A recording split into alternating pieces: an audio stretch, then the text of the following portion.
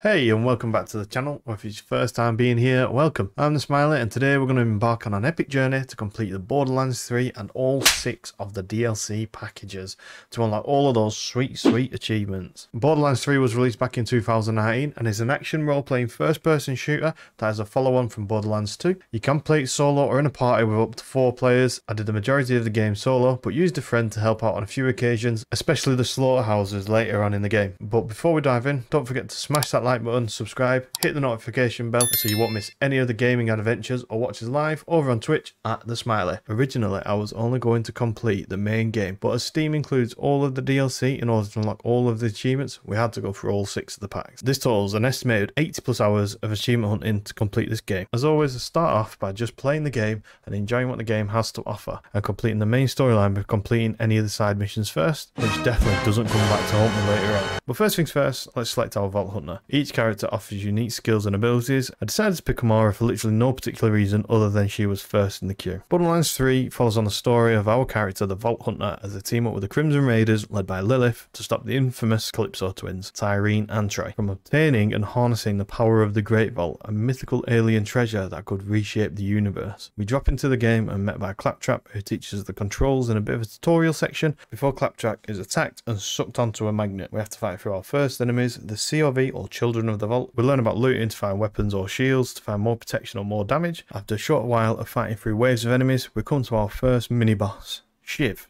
who we take down with relative ease, and in doing so, unlock our first of the 821 achievements. Yes! Achievement unlocked, you got skills. After rescuing Claptrap, we are introduced to Lilith, the commander of the Crimson Raiders, and after speaking to her, we unlock our first story-related achievement. Whee! Achievement unlocked. Welcome to the Crimson Raiders. Following on through the story, we accidentally get this achievement for blowing up an enemy with a barrel. Barreled right over them, achievement unlocked. Continuing the story, we do find the vault map and gain control to its power before we ultimately lose this to the Calypso twins. But that's not all. Our path to the Great Vault has been revealed. Next stop, Promethea! Don't forget to like, follow, and obey. We also see that Tyreen uses abilities to steal the powers from Lilith. Tyreen has to feed these powers to Troy, with no other options, we bail back to Sanctuary, our home ship, and we get this achievement. With it being the first time that we're on Sanctuary, we do have a look around to see what is available to us here. We do stumble upon Moxxi's bar. In Moxxi's bar, we were enticed by the flashing lights of the bandit. Here, we were spending all our money to try and find better weapons, shield, or equipment that we could use. But we was attacked by the slot machine. Instead of winning a prize, we won a live grenade and unlocked this achievement. With the machines dropping a grenade and nobody batting an eyelid, it seems like this is regular occurrence in Moxxi's bar. The next random achievements that we got were reaching level 10 level 10 achievement unlocked and also tipping Moxxi back at her bar in Sanctuary. Way, tips appreciated. And then the story continues in our quest to stop the Calypso twins, and we approach Promethea, where we stumbled on a distress signal from Atlas, so we decide to intervene. We are introduced here to Lorelei, who is an Atlas military leader. We learn that the Maliwan army is teamed up with the Calypso twins and the COV to take over the planet, but we say no. We push them back. At this point, we did squad up with one of our friends, and we were progressing through the game naturally. And for some unknown reason to me, and I didn't even notice it whilst we were streaming, this achievement pops up. I'm not sure if it popped for me due to not having an item to decipher the slabs, and my co-part deciphering them bugged the game into thinking that we'd gotten them all. We help upgrade Zero's weapon and take on another boss before returning back and putting Rhys back in charge of Atlas and we get this achievement. Skipping forward in the story now, we return back to Promethea and we speak to Rhys to try and get another vault key fragment before Promethea is then attacked by the Maliwan forces. Fighting through waves of these enemies, we reach Katagawa, the CEO of the Maliwan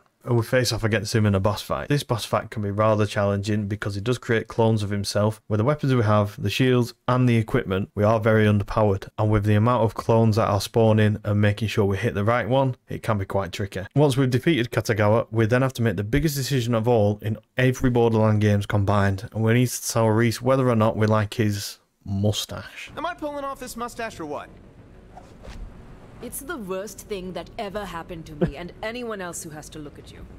Either option, we get the vault key fragments and this achievement is ours. With the vault key given to us by Rhys, we follow Maya to the vault and take on the Ravager. This boss's health pool is massive and it does take a while to take down due to the weak weapons we have at this point in the game. Once we've defeated this boss, we can enter the vault without Maya as Ava is tagged along and they start to argue. Ava? I told you to wait on the ship. It isn't safe here. Vault Hunter, you should go inside. Take your time. I need to have a chat with my apprentice. After filling our sack with all the goods, we come back out of the vault and once again we are ambushed by the Calypso twins. What's up, bitches? Drain the power from the Ravager and also drain Maya's powers and destroy her.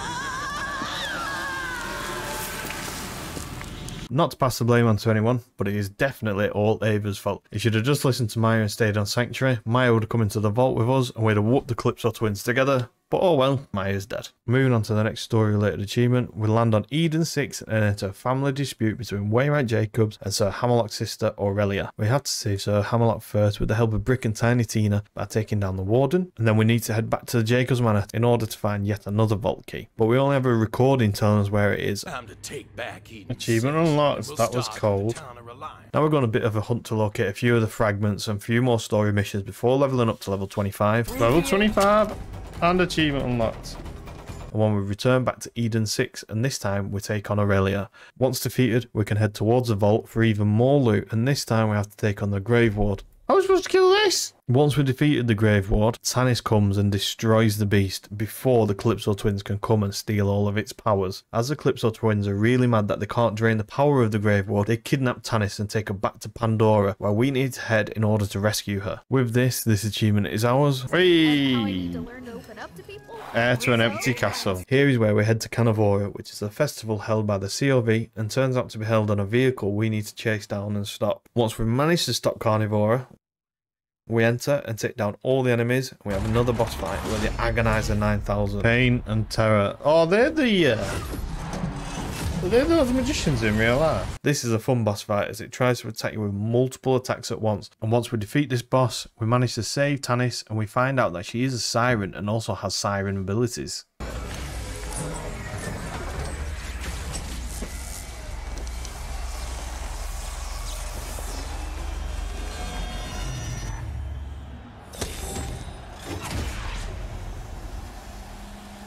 After discussing she's a siren, she asks us to go and retrieve the Iridium amplifier from her secret laboratory, where we are driven to insanity trying to figure out this stupid puzzle of buttons that we need to press in order to unlock the door. Turns out there's another switch. Anyway, upon giving this to Tannis and the Calypsos reveal the location of the Great Vault, which is on the moon of Elpis, and begin charging the keys in order to open the vault. We don't want this to happen and try and stop them, but we find the Calypso twins and we find Troy draining all of Tyreen's powers in order to charge up quicker. But we stop him and we have a little battle against Troy, which is an easy enough boss fight, just avoid his attacks because they are very powerful. Once Troy goes down, Ava absorbs Maya's powers and Tyreen wakes up. You did it, Troy. Now let's finish this to She isn't happy with Troy and dissolves his body, gaining all of his powers and opening the vault, which turns out to be Pandora itself. We are summoned by Typhon DeLeon, the first ever Vault Hunter, to Necro Nekrotafeyo. But before we go, we unlock this achievement. Ooh, achievement unlocked. Apocalypso.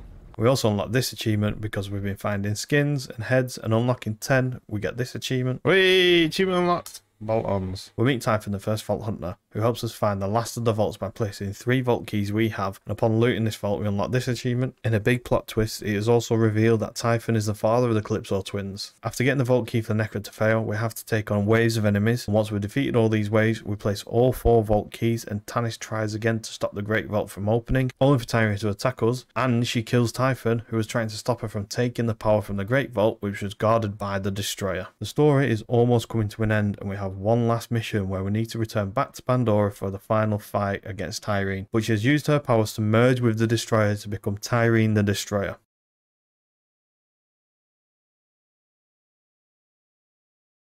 Once we've defeated this boss, and Tyreen goes down, Lilith regains her powers.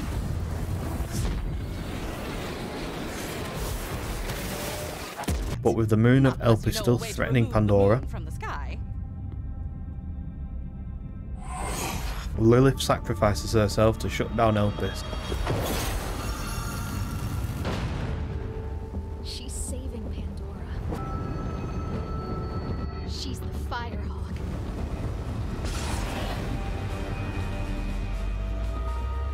Although believes she's still alive. We head back to Sentry, and after the credits roll, the final story achievement is ours. Bye, Felicia! Achievement unlocked. After completing the story and getting all the achievements, we then decided to take on a few of the miscellaneous achievements before moving on to the side quests. Here are a few of them now. Get one for sending an item to a friend, using a golden key on a chest, buy 20 cosmetic items off Crazy Earl. Wait, my name is Earl. Achievement unlocked. Unlocking 10 new vehicle parts from hijacking.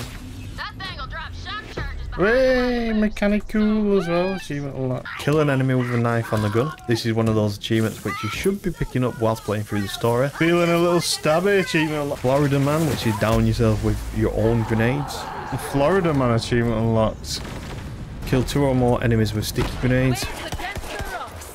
Whee, achievement unlocked. For this, we should get an achievement here. Equipping purple or better in every single equipment slot. We did. Get a perfect score on the firing range, which is harder than it looks, and we actually came back towards the end of the game just to get this one done before moving on to the DLCs. But that's it for the miscellaneous achievements. we're now moved on to the side missions. When starting the side missions, it also helps with these four achievements, which is to locate every known area on every world. As we will be traveling around each world quite a lot to do these side missions, we just got these along the way. Along with that, there's also an achievement for unlocking a reward with each manufacturer. So we did this with each side mission that was going through. As soon as we unlocked one of the rewards, we moved on to another manufacturer while still progressing through the side missions. I am brimming. Whee! Rewards card achievement unlocked. So anyway, the side missions in the game follow the same structure as the main story, so I won't go through each and every one here, but there's six DLCs and the majority of them ask you to complete side missions. They are fun to do and basically retrieval quests or go here and kill this dude quests, except this one, which is well. Anyway, you do get an achievement for completing 20 side quests. There we go, that was easy enough. An achievement unlocked for completing 20 side missions. And you do get an achievement for completing 50 side quests, but you need to complete all the Iridium Proving Grounds and the Circles of Slaughter first. Then it's onto the Iridium Proving Grounds. There are six trials in total, each on a separate area to the main story or the side quests. You need to follow a linear path and kill all the enemies with a timer that you need to get to the end to kill the boss. Failing to do so within the time frame or with dying will require a restart. Once completing all of the Iridium Proving Grounds, we unlock this achievement, and then we're on to the Circles of Slaughter. There are three Circles of Slaughter that we need to conquer for this achievement, and different to the Proving Grounds, this is all done in one arena with waves of enemies that continue to spawn, each having a different enemy type, whether it be the Beast, COV, or Maliwan. You do get a brief pause in between rounds, but once you die, that's it. You have to restart again.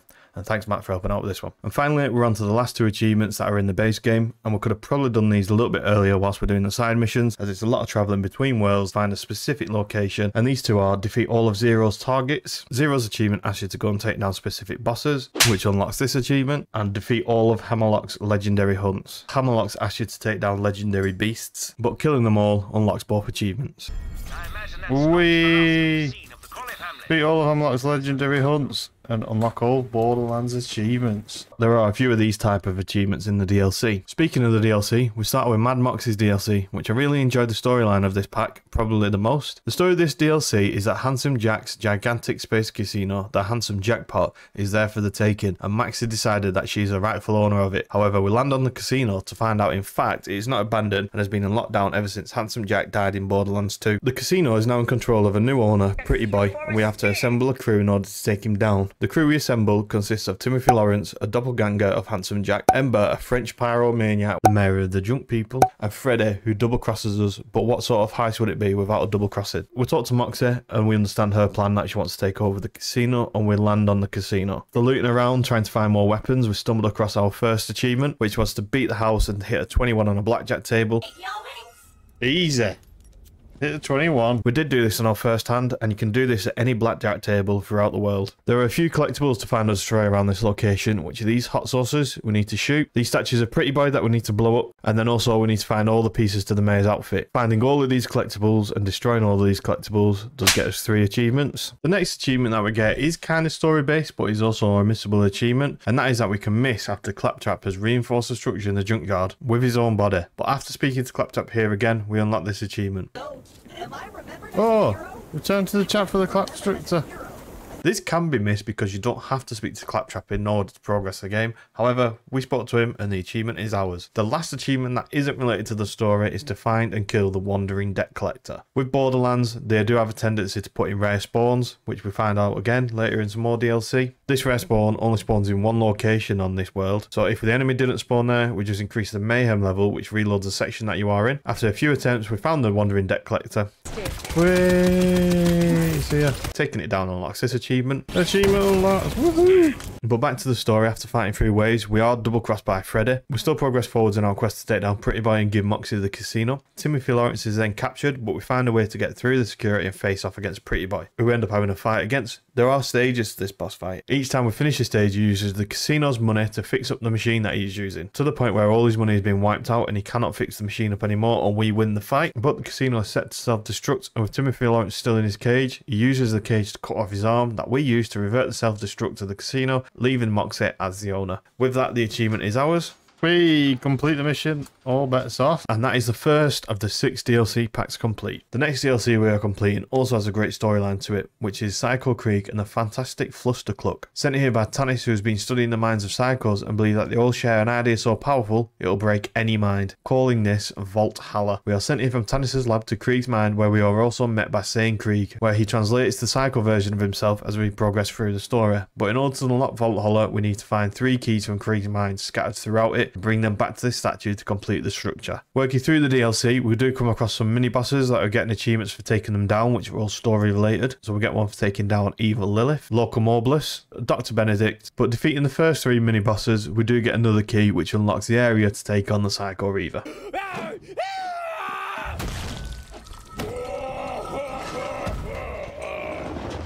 This guy. After defeating this boss, you do get this achievement. Oh, thank God, defeat the Psycho Reaver.